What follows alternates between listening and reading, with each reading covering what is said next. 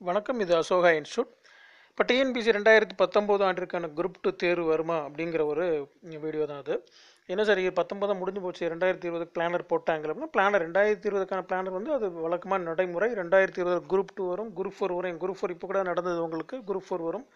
Group one ஜனவரி மாதம் வருது அது அது வேறு.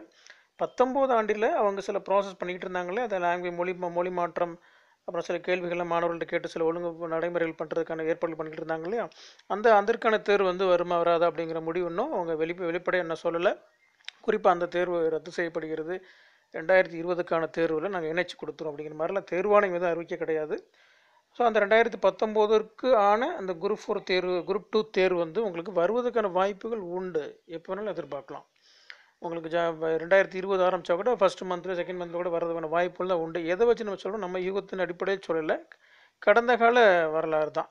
அதை நீங்கள் பார்த்தீங்கன்னா கடந்த குரூப் ஃபோர் தேர்வு அந்த ஸ்க்ரீனில் போகிறது பாருங்கள் ரெண்டாயிரத்தி பதினெட்டு இருபது அந்த தேர்வுடைய கலெக்ஷன் ஆஃப் வேக்கன்சி ரெண்டாயிரத்தி பத்தொம்போதில் எக்ஸாம் வச்சுருக்காங்க. ஸோ அந்த வேக்கன்சி அவங்க நோட்டிஃபிகேஷனுக்கும் வர்ற ஆண்டுகளுக்கும் அந்த நோட்டிஃபிகேஷன் சம்மந்தமே இருக்காது உங்களுக்கு.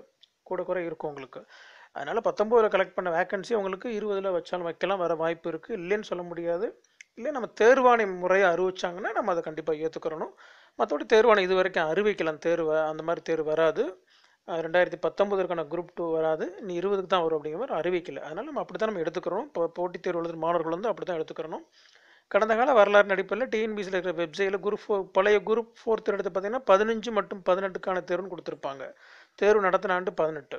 ஸோ அது அவங்க சில ஒழுங்கு முறைகளை அவங்க பின்பற்றுறாங்க சில முறைகளை பின்பற்றுறாங்க அது அடிப்படையில் பார்க்கும்போது இந்த தேர்வு கூட வர்றதுக்கான வாய்ப்பு இருக்குது ஸோ குறிப்பாக இருந்தாலும் நம்ம இந்த வீடியோ கொடுக்குற நோக்கம் வந்து மாணவர்கள் அந்த படிக்கக்கூடிய அந்த கண்டினியூட்டி நீங்கள் விட்டுறக்கூடாது. படிக்கக்கூடிய அந்த வேகத்தை குறைச்சிட தொடர்ந்து படிச்சுக்கிட்டு இருங்க. திடீர்னு வந்துச்சுன்னா நீங்கள் வந்து அது உங்களுக்கு வந்து பயனுள்ளதாக அமைஞ்சிரும் என்ற நல்ல எண்ணத்தில் தான் இந்த வீடியோ நம்ம போட்டிருக்கோம். பயன்படுத்திக் கொள்ளுங்கள். நன்றி வணக்கம்.